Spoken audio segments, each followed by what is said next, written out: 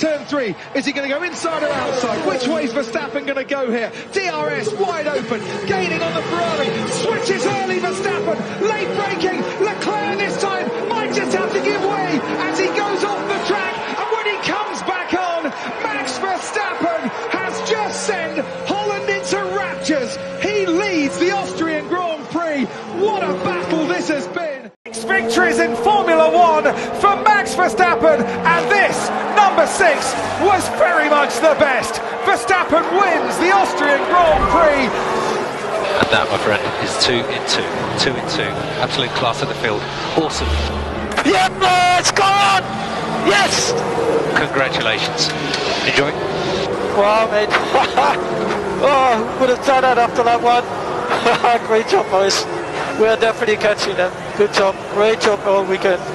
Max, you drove a mighty race. You are the man. I mean, what a race. We're so proud of you.